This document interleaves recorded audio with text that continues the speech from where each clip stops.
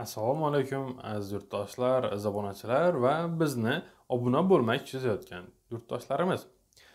Azizlar hozir sizlarga juda ham bir qiziqarli va foydali ma'lumotni aytib o'tmoqchiman.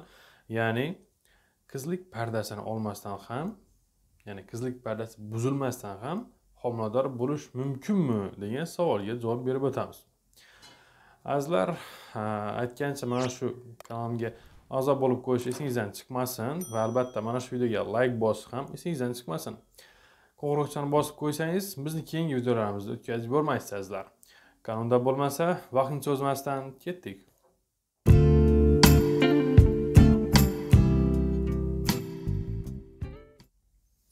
Ha azizlar hozirgi kunda shunday holat uchrab turibdi ya'ni qizlik pardasini olmasdan turib buzmasdan turib homilador bo'lish holati kuzatilyapti.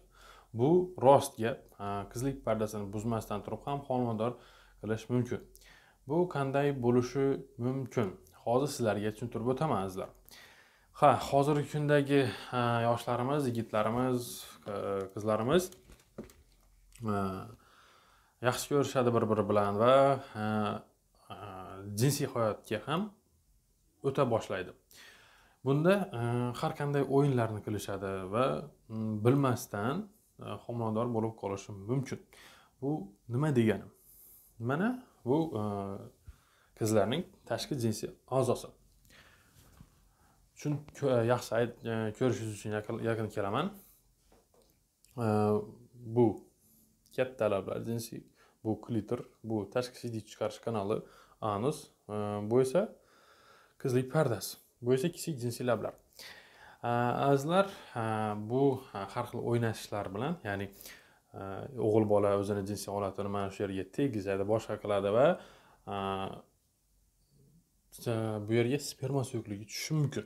Mana tomchilar bilan tomchi tushishi mumkin va bu yerga ham tushishi mumkin. Endi tasavvur qiling.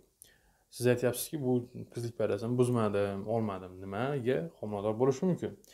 Azizlar yaxshilab qarang. Mana shu yerda oq tochkani ko'ryapsizmi bu tochka qizlarda hayz kelish uchun qizlik pardasidagi bo'ladigan teshikdir.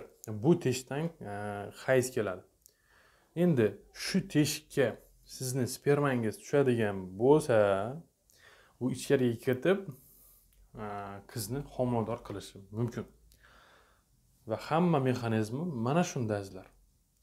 Qizlik pardasini buzmasdan ham homilador qilish mumkin. Buning uchun mana shu yerdagi har qanday e, olat bilan o'ynashlar va e, mana shu yerga sperma tushadigan bo'lsa siz e, qizni homilador qilishingiz mumkin. Azizlar bu yomon holat albatta bu dinimizda ham qoralangan. Shuning uchun bunday yomon narsalarni qilmaysiz degan va bunday yomon narsalardan qaytasiz degan umiddamiz azizlar. Sizni savolingizga javob berdim degan umiddaman. Bu ijtimoiy tarmoqlardan kelgan savollar edi. Albatta bunday savollar ham uchrab turadi.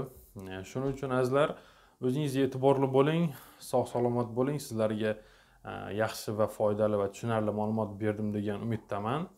Savolingizga e'tiborli bo'ling. Savollaringiz bo'lsa albatta kommentariyaga yozib qoldiring. Sizlar bilan doktor sabirov bo'ldi xayr salomat bo'ling.